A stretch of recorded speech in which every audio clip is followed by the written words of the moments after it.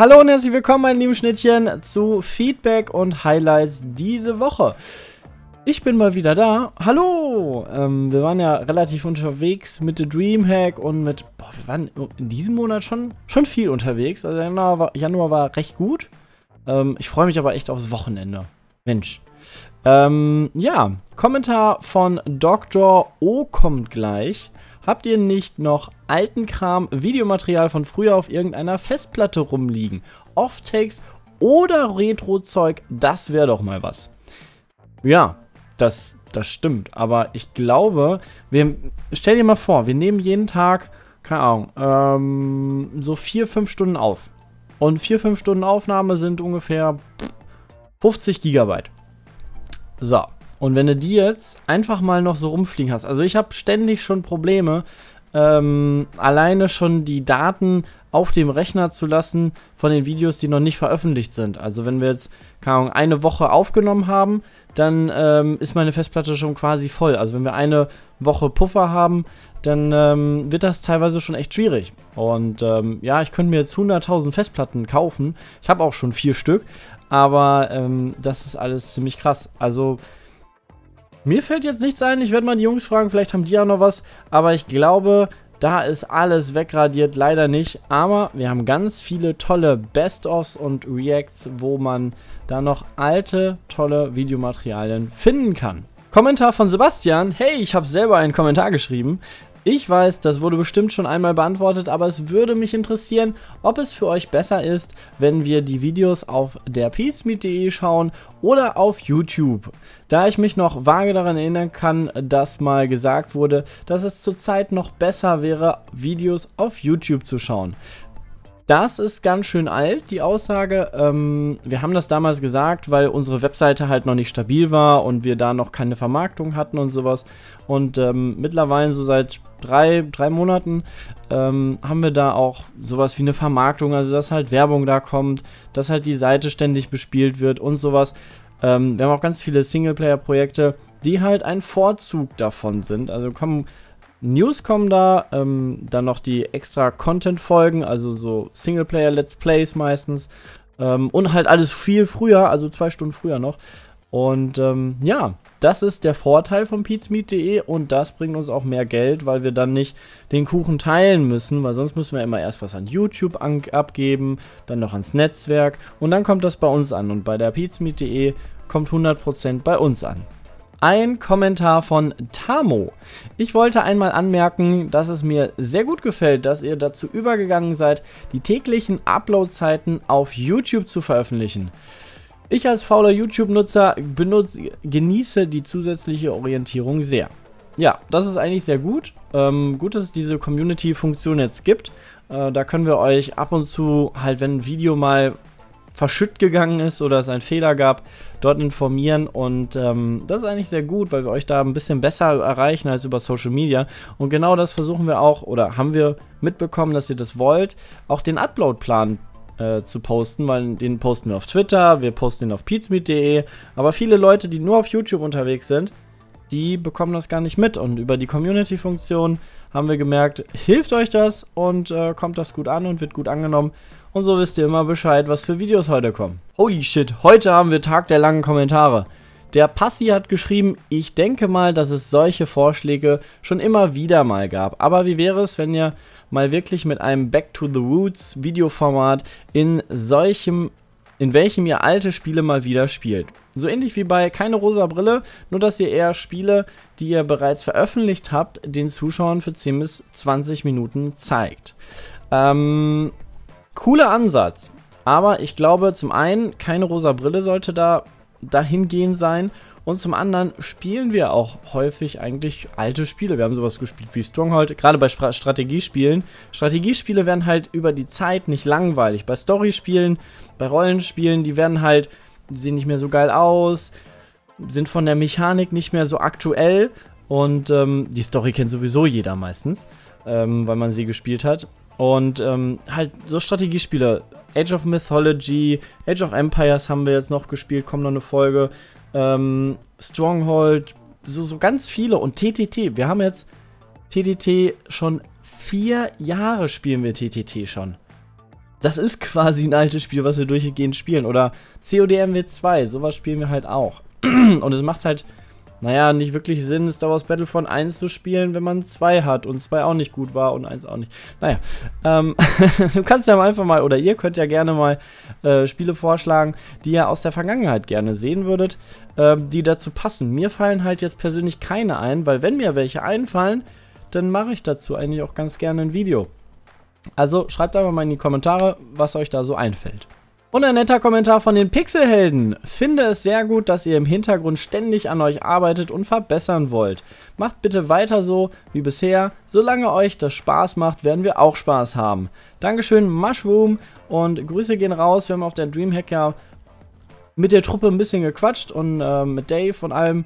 Und die haben ja, die haben ja so eine coole Formel 1 Gruppe. Und ähm, eigentlich planen wir immer noch, mal ein riesen krasses Ding mit Formel 1 zu machen. Das ist jetzt hier top secret, ähm, mal, mal eine große Gruppe Formel 1 zu machen, wo wir mit den Jungs, gegen die Jungs, einfach mal eine Folge oder ein Rennen halt oder vielleicht auch zwei, ähm, einfach mal fahren. Das wird mega chaotisch und alles und das ist super schwierig zu planen, weil es sind, glaube ich, dann äh, 18 Leute oder sowas, ich weiß nicht genau. Ähm, aber das ist halt hart. Und ähm, ja, da wollen wir mal gucken. Vielleicht kriegen wir es zwischen Ende dieser Season und Anfang nächster Season, die wahrscheinlich irgendwann kommen wird. Aber dazwischen einfach mal hin. Ich hätte da Lust drauf und ähm, wir bleiben in Kontakt. Der Kommentar von Soul Edge Alpha. Wie wäre es denn mal wieder mit mehr ern ernsthaften Tryhard-Formaten? Aktuell gibt es ja eigentlich nur Formel 1. So unterhaltsam eure Spaßvideos auch sind, fand ich CSGO oder LOL auch immer sehr nice. Hm. Ja, also wir machen eigentlich spielen wir in den 18 Uhr Battles fast immer Tryhard-Formate. Sowas wie Trials, TTT und, keine Ahnung, COD und all diese tollen Spiele, die competitive sind, ähm, nehmen wir eigentlich schon ziemlich ernst. CSGO ist leider ein bisschen raus, weil das bei euch nicht mehr so gut ankam. Ähm, und LOL sowieso, weil irgendwie keine Sau mehr LOL guckt. Alle gucken nur noch Streamer und LCS. Und ähm, ja, vielleicht wird da noch was aufgelebt. Lasst dich überraschen. Aber, weil ich habe da letztens noch mal was gehört.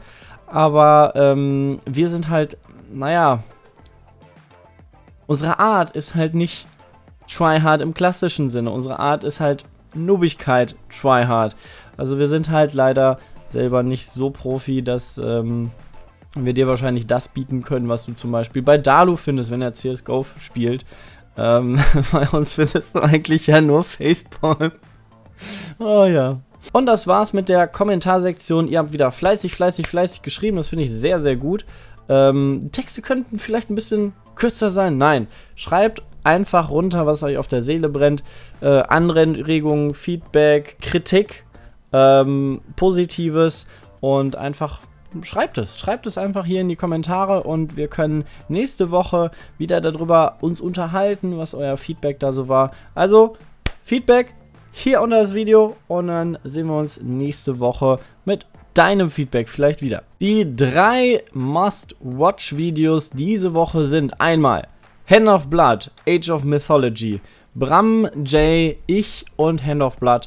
Wir spielen ja, einfach mal eine Runde Strategie und alle sagen, sie könnten es nicht, aber es stellt sich doch was heraus. Und ähm, es war eine sehr, sehr lustige Runde mit echt einem Brainfuck für mich, weil irgendwas ist da passiert, was für mich und Jay nicht so logisch war. Jay und ich waren im Team gegen Bram und ähm, Max und da lohnt es sich auf jeden Fall mal reinzuschauen. Sonst haben wir noch einen Quickie React gemacht. Ähm, ein paar ganz alte Quickies und ich muss sagen, oh, mega geil. Von vielen Sachen, da konnte ich mich gar nicht mehr dran erinnern. So Best-of-Szenen von, von Battlefield 3 oder damals aus den Menschen oder sowas. Das war, das war cool. Das ist einfach irgendwie, das finde ich irgendwie nice bei uns, dass wir halt alles aufnehmen, was wir so über die Jahre gemacht haben und sich das einfach nochmal anzuschauen und zu merken, ey, was ist denn eigentlich damals passiert und was war denn da Geiles? Und das einfach nochmal, weil das ist ja im Video vorhanden. Also nicht einfach nur in meinem Kopf, wo es irgendwie mit der Zeit ein bisschen grau und verschwommen geworden ist. Ähm, und da sieht man das einfach und das ist einfach super cool. Macht sehr viel Spaß, solltet ihr mal reinschauen. Und ähm, ja, das dritte Video ist äh, ein Crash Derby. Da haben wir hart gerockt. Naja, hart gefailt. Wir haben kaputt gemacht und zwar Autos. Ein Crash Derby der anderen Art. Wreck, Wreckfest ähm, schimpft sich das Ganze und wir haben alle zusammengespielt auf dem Server und es ging einfach nur ab.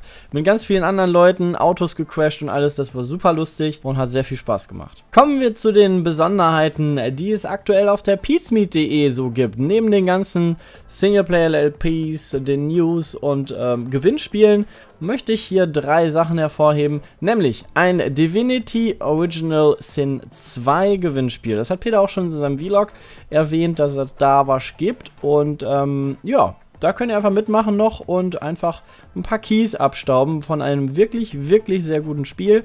Und ähm, ja, sonst findet ihr auch noch als Artikel etwas Besonderes. Fünf Bestrafungen bei Pete's Meat. Das ist auch wieder so ein bisschen Rückblick auf das, was so an Bestrafungen gelaufen ist. So braminös oder so Kochen für andere oder damals noch das Tofu essen. So verrückte Sachen guckt man sich dann nochmal an. Und fand ich eigentlich ganz cool, weil viele dieser Bestrafungen, wir haben mittlerweile so viele Bestrafungen gemacht, ähm, und bei vielen war ich auch gar nicht dabei. Äh, aber es ist auch wieder einfach mal lustig, sich alte Bestrafungen anzuschauen. Und zu guter Letzt kommt noch eine schöne Liste vom lieben Sven. Grüße gehen raus. Lieber Sven, äh, du hast einmal zusammengeschrieben, welche Spiele alle im Februar rauskommen. Fand ich sehr geil, weil ich bin da jetzt mal durchgegangen, habe so gemerkt, oh, da sind einige Dinge dabei, die ich verpasst hätte. So ähm, Shadow of the Colossus oder auch ähm, Secret of Mana Remake. Habe ich gar nicht mitbekommen. Also Playstation-Spiele, dadurch, dass wir halt eher so am PC unterwegs sind, gehen bei mir immer so Playstation-Spiele unter oder Xbox-Spiele. Und ähm, weil ich die einfach nicht so präsent habe, welche dann noch so unterschwellig noch so rauskommen. Und das finde ich eigentlich ganz cool. Natürlich Civilization kommt raus, da machen wir auch noch was sehr, sehr Cooles nächste Woche zu. Freut euch drauf, auf jeden Fall. Es wird spannend. Ähm, verfolgt uns einfach auf Social Media, da werdet ihr noch informiert. Und ja, das war's eigentlich. Und ähm, es war eine tolle Woche. Es war eine sehr anstrengende Woche mit der Dreamhack. Ähm, ich genieße jetzt noch das Wochenende und ja, weil letztes Wochenende war. Also ich muss sagen, Dreamhack war geil, aber man merkt halt, wenn man zwei echt volle Wochen hatte und dann noch das Wochenende komplett ähm, auf einer Messe war, merkt man doch, dass man auch mal gerne Wochenende hätte. Ja, einfach mal auf der Couch liegen, gammeln, was mit Freunden machen und ausschlafen. Ja, ich wünsche euch was. Euch noch einen schönen Seppig Sunday morgen und haut rein!